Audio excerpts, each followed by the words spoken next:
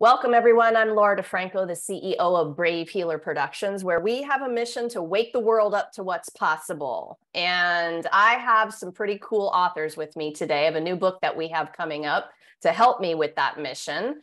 We are doing a book called Embody Kind a guide for authentic living. And before I introduce you to these amazing people, let's just say a huge thank you to Kristi Trader. Kristi, thank you. We would not be here without you and your beautiful mission and movement of Embody Kinds. You guys are all going to hear a lot more about that as I talk to the authors today.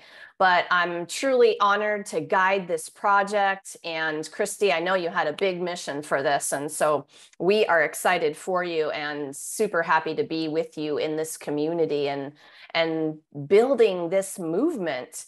So I have Jamison Jacobs with me. He is the CEO of J Jacobs Coaching, where he coaches executives and leaders to generate powerful outcomes in their life and in the world. Tina Muheim is an executive leadership and transformational coach who helps her clients move from being on the verge of burnout to having a work life balance and moving clients from their logical brain into their heart center. Sarah Mackay is with me, and she helps clients experience less stress, more ease, and a deeper connection to their limitless wisdom. Welcome, you guys. How's it going today? Mm, thank you. Good, good morning. Good, good. I'm super happy to have this conversation, guys. Jamison, you're going to start the party off. So tell us about your amazing chapter.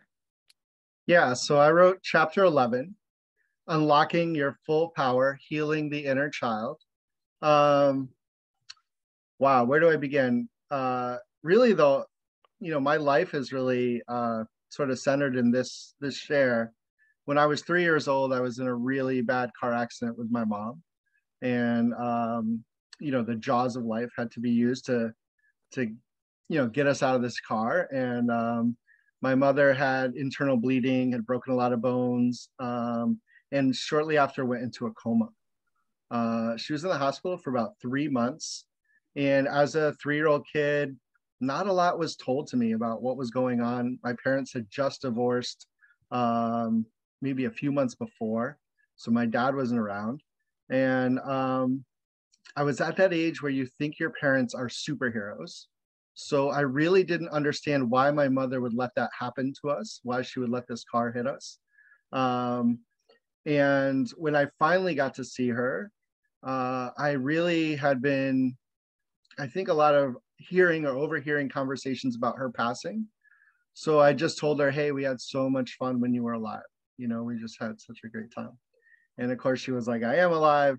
I spent that uh, Christmas at the hospital. Um, but when she came home, even though she was in a wheelchair, I would not let her even go to the bathroom by herself. I was so afraid that she could just poof disappear in any minute. And that three year old, you know, lived in me for a long time and showed up in my relationships, showed up in uh, my friendships at times, right? So, um, really afraid that somebody might exit or leave me and really feeling like I had to be 100% responsible for me. Get, I had to totally get me. I don't need any support. I'm fine. Um, and it took some time to really learn that I get to go back and heal that three-year-old who who had some trauma, who might be bringing triggers into relationships where you um, you know there's a reason you're getting upset but you're just getting way more upset than than you should uh, and really doing some healing work. So I've I've been you know doing this meditation work where we, I go back to that inner child, literally bring him into your lap, hold his heart, ask him what he needs uh, as that three year old self. What did he need at that time? And really, you know, I end up crying. The inner child ends up crying, and um, and being healed. And what you notice is like a, uh, a few weeks later, you might have an event that that typically would really trigger you and it just doesn't have that hit on you. It doesn't have that control over you anymore. And it's just really powerful as I take other people into this experience of, you know, and everyone has different different traumas and different childhoods, um, but they might have that three, four, five year old self that's traumatized. And then through the meditation, we'll go in and heal that child. So really that's what the chapter is about. I also have a meditation that goes with it that that people can check out. So um, really, really powerful. So, you know, it takes some awareness to to wake up to the problem in your adult life that's been following you. You know, what you what you were telling us about that 3 year year old kind of followed you into your adult relationships and and the more awareness you have the the obviously more opportunity you have to heal these pieces. And i wanted you to just talk for a minute about what are, how do we know? Like how is it showing up?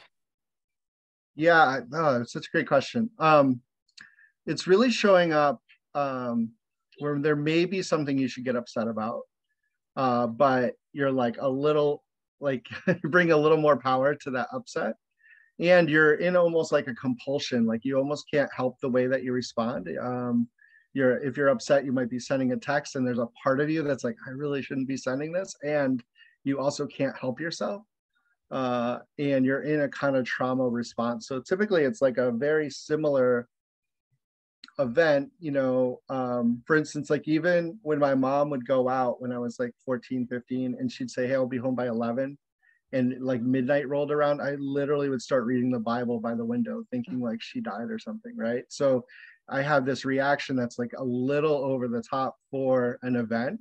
And that child is just so scared, so afraid that that person's going to leave, disappear, walk away.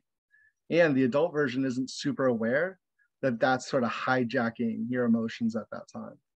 Um, and so later you might be like, oh, so sorry I got that upset, or I don't know what that was about I think in a lot of relationships, it looks like, you know, I'm like this. Why would you do that? You know, and, and you really expect your partner to like um, kind of parent your inner child. And they they have no idea what's going on. So they just think, okay, that's weird. You're like that. I'll try to avoid these things.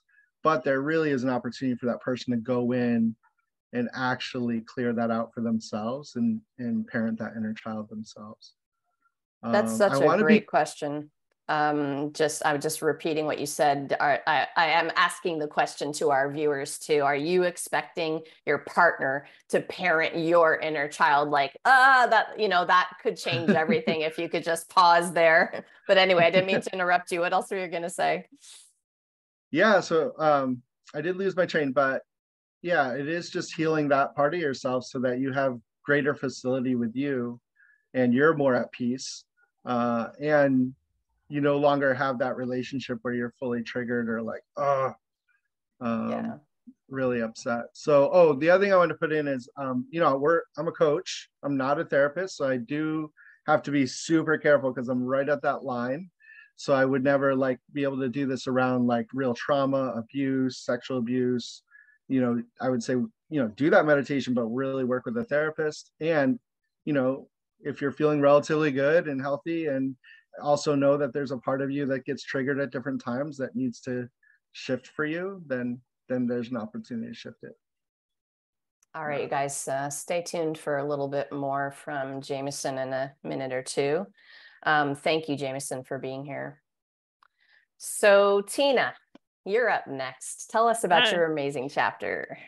Uh, uh, my chapter is chapter 17, Writing Your Future the gift of unexpected events. Uh, it really is my journey over the last two years.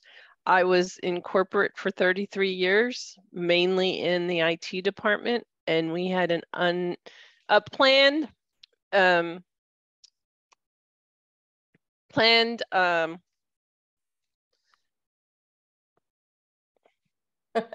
You're losing it this morning. Yeah. Need more coffee? An event? A I retreat? Need, a conference? no, it's when they take the whole department and shake it up. Oh, oh reorganization. Re- thank you. Okay. I, I, knew it was an R. We work as a, re- a team around here. It's okay. Thank you. A reorganization. and reorganizations in IT departments are normal. Like there's like every six months. And so they would become like a little bit of a joke. But this reorganization um, did not slate me for a position. And one of the things was that it was done in November of 2019. Um, however, to get my severance, I had to stay until the end of February 2020. And if I wanted a position, I could have applied for another position. At that particular time, they were requesting everybody to go to the home office, which is in another state other than Pennsylvania, which is where I live. And I chose not to do that. However, when I did leave, I had all those emotions of I'm not good enough. I'm I also at that time had uh, was approaching my 55th birthday, so I had some ageism coming as to can I even find another job? Am I going to find another job? I don't know if I can find another job. All those um, feelings, and so in the it really started when I left work in February of 2020 because I decided to go back to school. I'm a doctorate student of information technology. I decided to do that in part because it would help me get another job.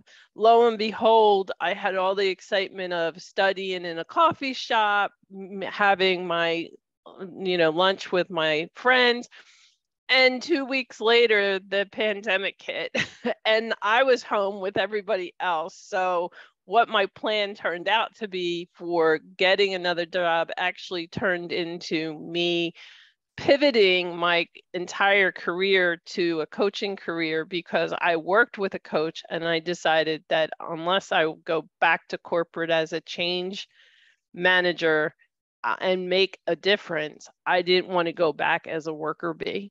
So my my chapter is really that journey over the last 2 years of me really finding myself and the transformation of who I want to be and not only who I want to be to the world, but who I want to be to myself, which is the most authentic that I can be. There's so many awesome pivot stories and I love them because it takes courage to do that. And it, I mean, you can think about it, that's one level, but to actually go for it, you know, um, and make that happen. Uh, what did it take that for you? Like, how much courage did it take you to do that? What was happening in your life when you made that pivot? Well, that was in that was so that was August of 2020, which is when I started the coaching program and when i started the coaching program i did not and i did not know what a full year 12 months of a coaching program would give me and throughout the entire time there was i don't want to do this anymore i want to maybe i need to go back to corporate and then there was like no um toward the end i realized like what i would have been to to james's point triggered to I wasn't triggered as I was a year before. And so it's evolving. I mean, even today, there are still things that I'm working on that move me forward that I really don't know that if I didn't have this two years of contemplation and transformation, that I would still what I would call put on my big girl panties and just keep moving forward because that's what I keep doing.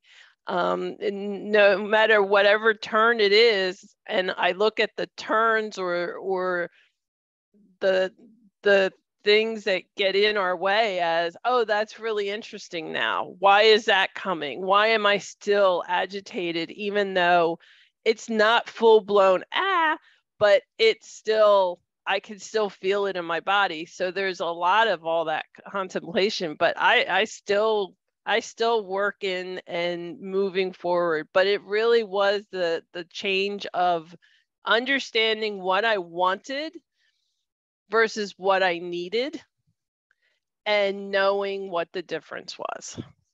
Nice. All right, you guys, more from Tina in a few minutes. Tina, thank you for being with us today. Thank you. Um, all right, Sarah, tell us about your chapter.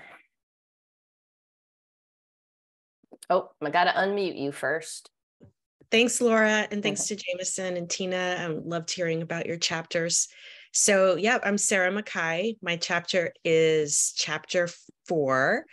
And when um, I came on to this project, thanks to Jamison, so it's cool to be in the same pod as Jamison, um, I really thought about what about kindness is so important to me and, and why do I want to share that with the rest of the world? And I think that um, I learned at a very young age through various traumatic events that kindness can help guide us through these difficult situations. And so throughout my life, I've sort of had this relationship with kindness is, is like either you're kind or you're not. And through the coaching program that actually Tina and Jamison and I, that's where we all met. Through that program, I learned that there doesn't have to be this either or. And so I was I was really drawn to write this chapter, kindness equivalent, to take a look at where have I experienced other people's way of being kind that there's not this black and white with kindness that there's different ways to express it and so i really started thinking about what were the events in my life that led me to where i am now and in the work i want to do with other people in the world. And it was really looking at the moments the little moments and perhaps maybe bigger moments um, of like going to the grocery store and what keeps you from maybe talking to someone who who is in your community and connecting with them. And i started really thinking about that and there were so many stories to share and i only had so much space you know this is a, a, a, a quite a few different authors are in this book embody kind. So i really thought about what were the most impactful. And one was when i was just at the grocery store and i noticed another woman and i noticed she was struggling. And we can never know the impact the positive impact um, and even the negative impact we can have on people. So it's important that i truly believe it's important that we guide ourselves through this world through our heart space our kindness our compassion as much as we can. Of course we have challenging days and it's more it's more difficult to do that but with practice we can develop that strength more and more. And so I, I reached out to this woman at the grocery store and you know fluorescent lights in you know amongst the produce and really connected with her and what she was going through and met her where she was and we can do that. We may not think we have anything in common with people but we have kindness in common and compassion in common. We're all human beings going through our, our challenges and struggles. And um, another you know kindness example it a lot different as when i was in uh, kenya nairobi and um, was helping in the slums there. And i was just um, amazed at uh, the level of um, vulnerability of people living in the slums and also their strength. And the thing that i really saw was people were so kind to each other unbelievably kind to one another living in this slum area in in nairobi. And I I remember um, a woman was giving me a tour of the slums, and I was just amazed at just the, the the rocky roads and the tin roofs and just there was just so little comfort in my perspective and so I immediately started thinking, what is it like for her? And I think that that's another way that we can bridge the gap in, in how we show up in the world. And I was just trying to understand what it was like for her. And I was going to talk with her about how awful everything was there because I thought that she didn't she didn't live there. I thought that she worked there and she lived offsite. And it turns out she grew up there in the slums. And so it saved me from hurting her by just really thinking, what was it like for her? I was able to come from a different space within myself. So this is just a, a really simple way of observing others and ourselves in the world. And I I see it again and again. There's so many opportunities, you know, like Jamison and Tina were saying, where we where we have this opportunity to to react differently. And Jamison knows well that, you know, I've we've known each other a while and and I've um had a lot of different things happen in my life where I have many, many opportunities to react from those hurt places and so, my biggest challenge in my life has been to come from this heart space, the kindness space. And so, writing this chapter has been just, it's really been a pivotal, point. excuse me, pivotal moment in my life to take a look at where can I choose to come from versus a hurt space to come from a kindness space. Nice. Thanks a lot. Thanks for letting me share. Yes. Thanks for being here. Um, I had to chuckle. I, I think that you came up with a great new book title, Among the Produce. I like that. I think we need to write that among the produce, but but it's I just loved that visual you gave me of just the people in the produce section and like why are you know are we connecting at all you know these days so thanks for that yeah. um okay so i uh, this is great because Sarah is talking a lot about the theme of the book, and it is really the next question. Tina, I'm going to start with you. What does it mean to you to embody kind? Uh,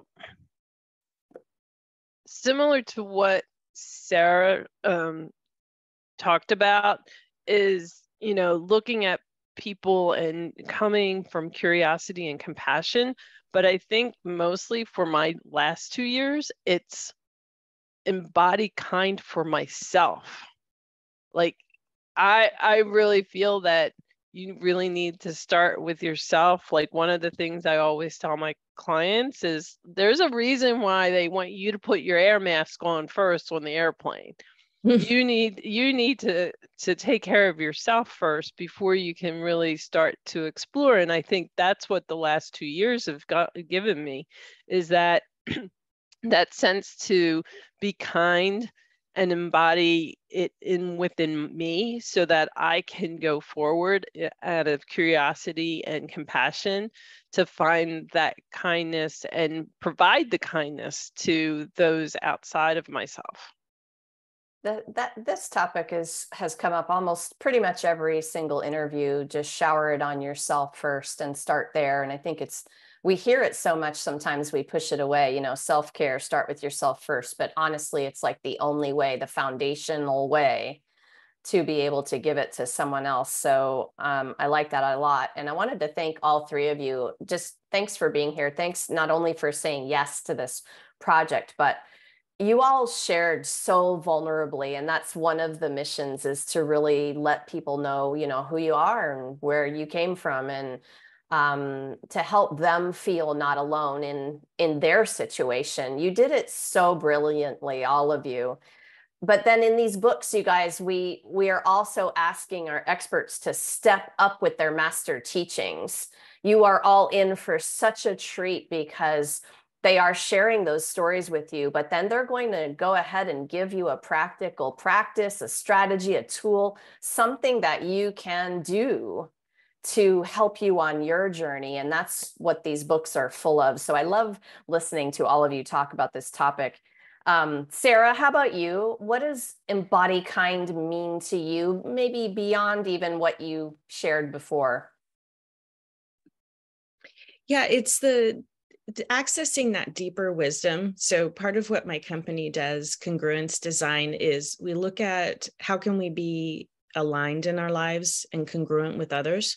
So when we're aligned within ourselves we can be more connected and congruent with others meaning that we we can all find a place of connection of common human kindness. Um, and what i really think it means is that we're accessing that deeper wisdom is we have the answers. You probably have heard this uh, many times. We have we have all the answers within us, and accessing those answers is part of that first step. So really drawing ourselves inward and looking within ourselves to find, you know, our answers for where we're headed to next, where are we navigating towards, and you know, part of what my chapter is is doing that with kindness, and the other part is is accessing deep within so that you can learn about you know what is this joined human experience? And I, that's why i love this book embody kind is like it's in our bodies. And tina talked about this earlier like with the the uh, reorganization at the company it can leave this like energy within your body. And so we can access more answers by looking through those obstacles. You know, the obstacle is the way. It's a book I love by Ryan, uh, Ryan Holiday too, and it's looking through those obstacles to get more answers, to find more depth and meaning. Um, and it's such a vast area. Um, so you know, you might be having relationship issues, money issues. What am I going to do next in my life? And by reading this book, Embody Kind, these chapters, we can really start to look more within ourselves so that we can coach ourselves through these difficult situations. Thanks, Sarah. All right, Jamison, it's hard to maybe go last on this question, but what what would you add to all of that amazingness? Yeah, I just want to put a big and. Like I, I think it is like that compassion for yourself, love for yourself. And I think it's like um really starting to lean into your community and the people around you and trusting others and and um you know it's like that whole thing where everyone feels a little bit bored but you're like on a planet that's spinning a thousand miles an hour we're traveling 18,000 miles an hour through space there's like trees and sky and there's such wonder all around us. And there's this incredible opportunity for us to actually really connect. And I have it that embodied kind is actually really connecting with others and really seeing others. And um, I think both Tina and Sarah mentioned like meeting people where they're at, uh, really letting go of your own judgments. I think that's some of the work you have to do with yourself is is letting go of your own judgments uh, and really opening up to other people and connecting to other people and bringing play and magic and uh, spontaneity kind of like back to the world you know just really um, you know doing doing the things that have people feel seen. It's it's like that thing where people don't remember how hard you worked. People don't remember you know like the end of your days they're not going to remember how hard you worked or all those meetings you were on time for. What they're going to remember is how you made them feel mm-hmm. and really thinking about how do you want to make others feel and how do you want to leave other people. And that is like the essence of embody kind Mm-hmm. Love it. Mm, I actually, I wish I had it in front of me. I used the Maya Angelou quote that says something like that in a in a talk I gave over the weekend. Yes, yes, yes, yes to all of you. You are dropping some ninja moves of awareness today. That's what I call them. the awareness is everything. And so you know, speaking of awareness, I want to talk about this for a minute. Feeling is healing, and feeling is an awareness practice in all of the different ways we notice what we're thinking, what we're feeling, the emotions we're feeling, everything. All, you know, I always want to watch myself like a hawk and notice what I'm doing. And um, Jamison said it earlier too, with them when you're triggered and you wake up in a moment and go, "Whoa, I really overreacted just now. I wonder where that's coming from." You know, yay, because there's the opportunity right there. Just pause right there when you realize something doesn't feel quite right and you're not exactly sure how, and it's okay that you don't know how, right? Um, Sarah, so helping people to feel is part of this for me. What mm. does your personal awareness practice look like in your day to day? Share with us a little bit. Yeah, that's such a good, uh, I always say, juicy question. um, and I think setting up your day to to ch- be able to be in that state where you can choose outside of your normal you know, like Jamison was saying, Tina was saying, those triggers we might have. Um, and it starts with meditation and writing. For me, the practice is just really going inward and scanning your body, sort of like a, you know, you're going through the airport, only this is better. scanning your body for what is present. What do you feel there? And i remember when i first started doing this i was like what if, what is this? Like how can you scan your body and feel different things inside yourself? And it's a practice of getting more and more aware becoming more and more aware. And it's a chance for you to really settle into yourself and be present in that moment to to feel what's happening for you even the just the yucky stuff, you know, where you're just like, oh, I don't want to be with this. So that's what I practice in the morning is being with what's present and working through that. And then I journal about it. And I'll tell you something, I absolutely love writing. And um, I'm so grateful that it doesn't cost a lot of money and it's something I love to do.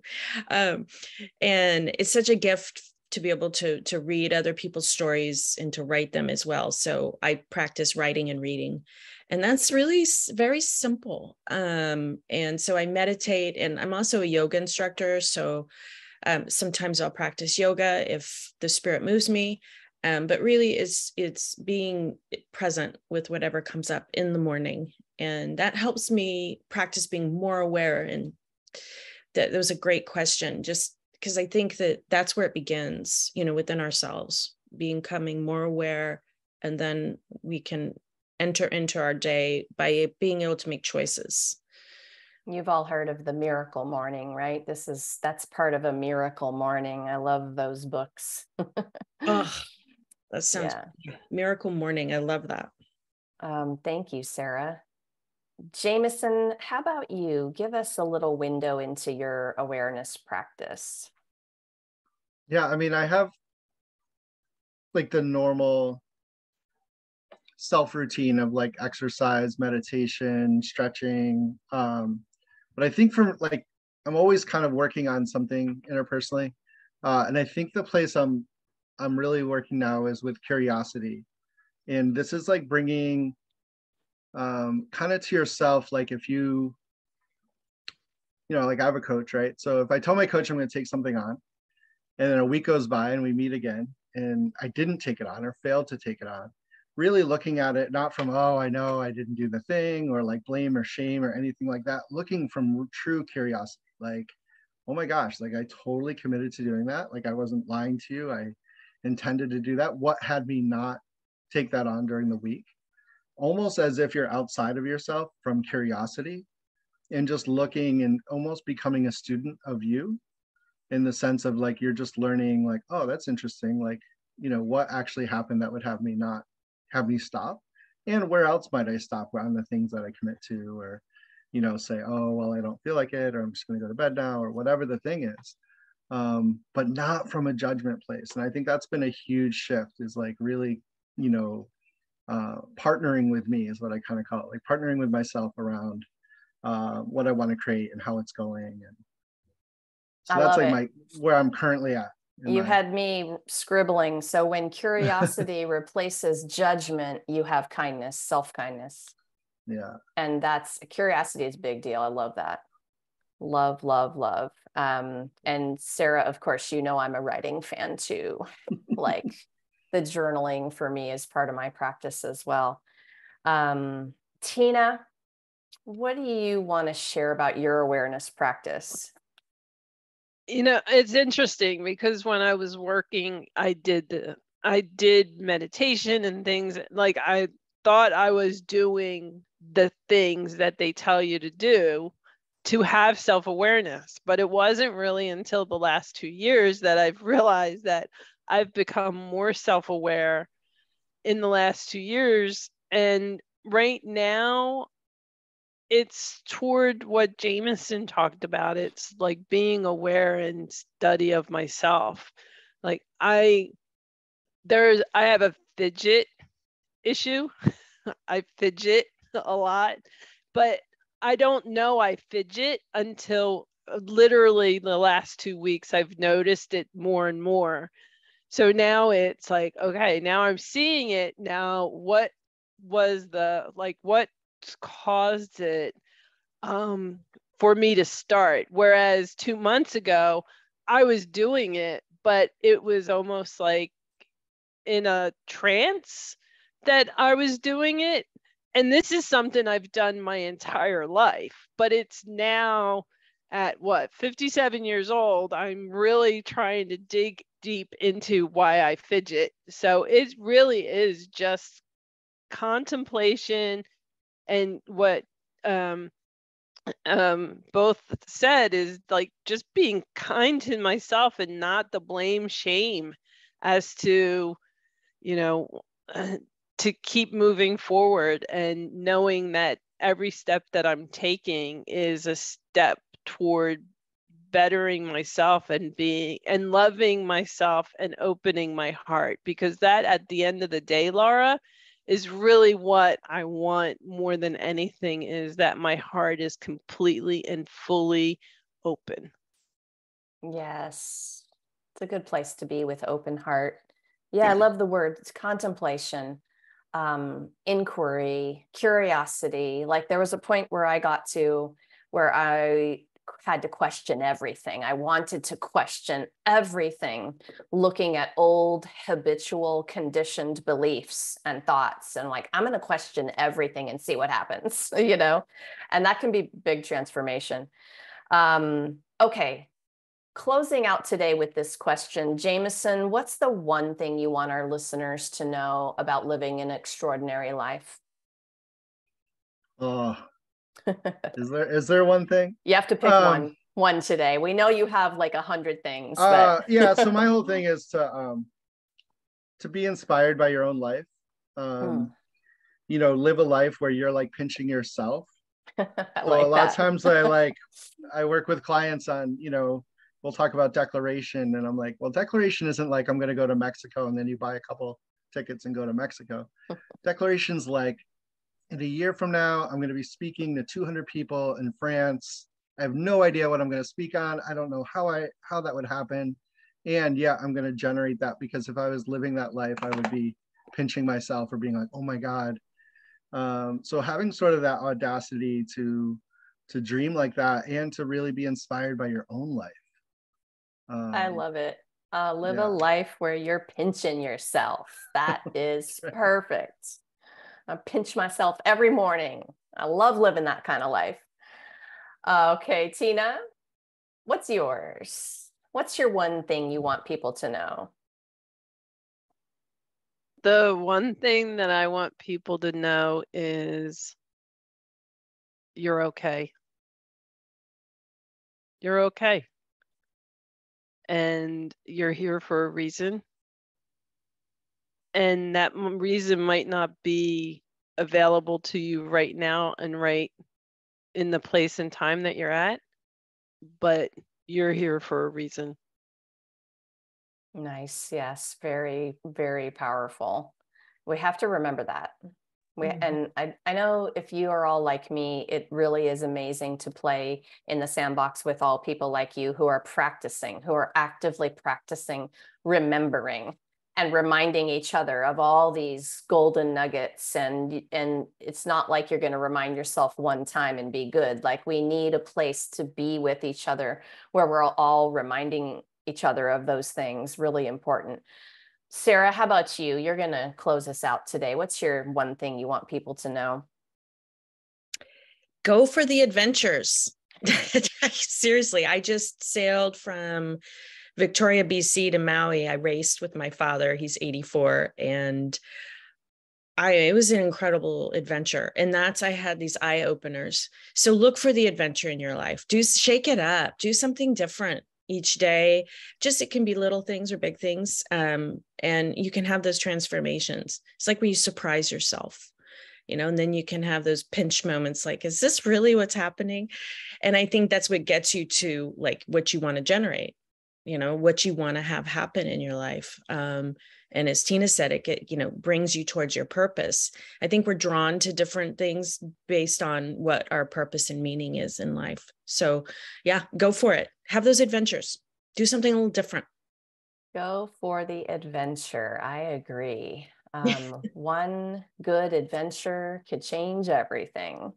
Mm, that's uh, that's awesome. I love that Yes, you all you are all so amazing. Thank you so much for what you do in the world and for being here today to share it with everyone. Thanks, you guys. Thank you, Laura. So thank you, Laura. Um, I want our listeners to know that listen, I know you heard some things today, right? You might be having some goosebumps. Something that one of these authors said has you curious. Well, come on down into the show notes. I've hooked them all up with their websites for you have an exploration, take that adventure. Click on a website, see what these expert authors of Embody Kind are up to in the world. They are very generously there to support you, to answer a question, to take you on your next step, to help you dream up that adventure, whatever that is. All right. Um, I can't wait to share this whole book with the world. We are going to have a live stream book launch party that you're all invited to on Friday, September 30th at 10 a.m. Eastern. That's going to be when I'll gather with all of the Embody Kind authors on the Brave Healer Productions Facebook page. And I've got you hooked up down below with that too. And if you happen to be listening after that date, well, that means you can get to, over to Amazon and buy the book and start your journey with the book. And we can't wait to hear what you think. Lastly, today, everyone, remember your words change the world when you're brave enough to share them. So it's time to be brave. See you next time, everyone. Bye, guys.